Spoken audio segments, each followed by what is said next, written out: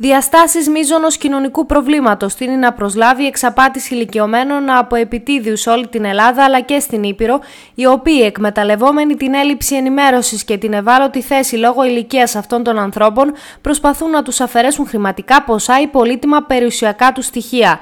Μάλιστα, δεν διστάζουν να επικαλεστούν συγγενικά τους πρόσωπα προκειμένου να γίνουν πιο πιστικοί.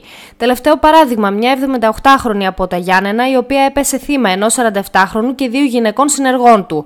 Αναλυτικότερα, ο δράστης, ο οποίος επέβαινε σε γιοταχή αυτοκίνητο, το οποίο είχαν μισθώσει οι δύο γυναίκες από εταιρεία νοικιάσεων αυτοκινήτων το πρωί της 9η Μαου, προσέγγισε στην πόλη την 78χρονη που κινούνταν πεζή και προσποιούμενος τον λογιστή του γιού της, κατάφερε να την εξαπατήσει και να της αποσπάσει το χρηματικό ποσό των 3.800 ευρώ προκειμένου να πληρώσει παράβολο στην εφορία ώστε να λάβει ο γιος της επιστροφή χρημάτων. Η δικογραφία για πάτη που σχηματίστηκε θα υποβληθεί στον εισαγγελέα πρωτοδικών Ιωαννίνων, ενώ το προανακριτικό έργο διενεργεί υποδιεύθυνση ασφάλειας Ιωαννίνων.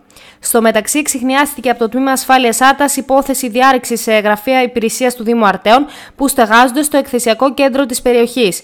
Για την υπόθεση αυτή σχηματίστηκε δικογραφία για απόπειρα κλοπής σε βάρος τριών Ρωμά ηλικίας 22, 27 και 22 ετών.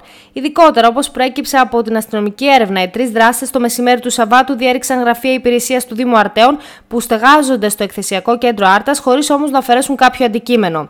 Η σχηματιστή δικογραφία θα υποβληθεί στον αρμόδιο εισαγγελέα, ενώ την προανάκριση ενεργεί το τμήμα ασφάλειας Άρτας.